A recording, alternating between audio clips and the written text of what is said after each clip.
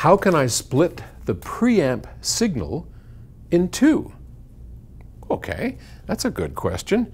And it comes from Harold in Mechanicsburg, Pennsylvania.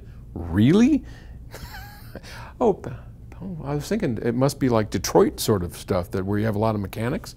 I wonder how that place got its name. Oh, maybe someone will let us know. Uh, how can I split the preamp signal in two? I'm using an ADCOM two-channel preamp with an ADCOM five-channel amp. And um, I want to split the two preamp channels to supply four amp channels. Aha! Uh, I want to uh, run two identical speakers into the next room, but I don't want to use a speaker selector box because I feel it'll take away from my main listening area sound. Right? Oh. Uh, as you know, I my mind runs at 100 miles an hour and in different directions sometimes, and we have to catch it. So I want to tell you just a quick story about ADCOM. ADCOM is a, a great story, and, and I don't know how many of you know what the word, the name ADCOM stands for, but it, it, it stands for additional compensation. And ADCOM was started by an old dear friend of mine. He's, he's since departed. Uh, and I think his son uh, Alex, uh, uh, Newt Channon was, was the, the fellow's name. And I think his son Alex Channon took over the company. I, I think it's gone now.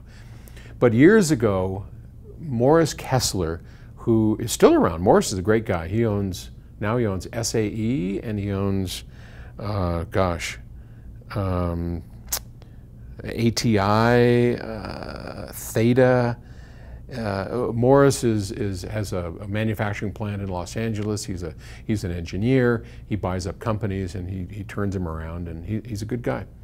Anyway, Morris had developed during, during the SAE days, uh, he had developed a amplifier that wasn't selling very well. And his rep at the time, Newt Channon, uh, they got talking somehow and, and uh, Morris said, I've got this pile of amps, a warehouse full of amps that I can't sell, and uh, I'm going to give up the line, whatever, uh, I think they were SAEs. Um, and are you interested? Could you help me move these things? And Newt looked at him and said, yeah, but I'd have to change the name. He goes, I don't care. Change the name. So they did.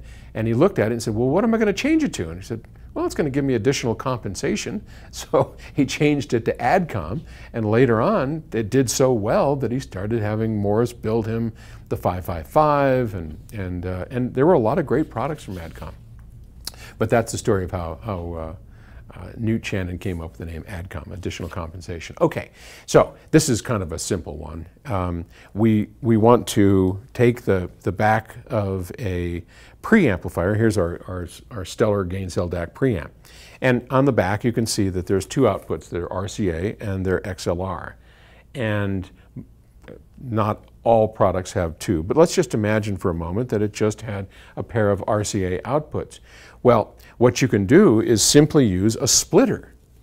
Now, in this case, we, we could feed one amplifier with the XLR connector, the balanced output, and the other one with the RCA. Now that's commonly done in an amplifier like this, you know, sort of a higher end amplifier that has both XLR and RCA outs. But in the case of the ADCOM, which I don't believe, I don't think they back then uh, paid much attention to balanced outputs, which I believe are very, very important, something you should definitely pay attention to and work with. But in any case, um, whatever you have, you can buy a simple Y connector which will split this output, send it off to your two amplifiers because they're high impedance.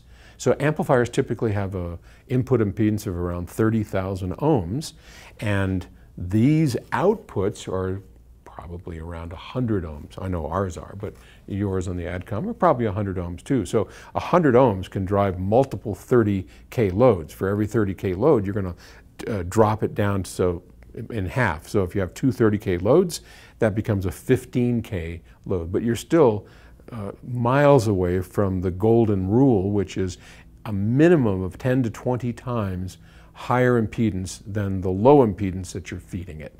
So we would say that you'd have to have at least 1,000 ohms and probably better at 2K at a minimum and higher is always better. So low driving high is always good And that would be no problem at all. Just buy yourself, just go on Amazon and buy a simple splitter. They have high, high-end ones too if you're concerned about it, but I, I wouldn't be.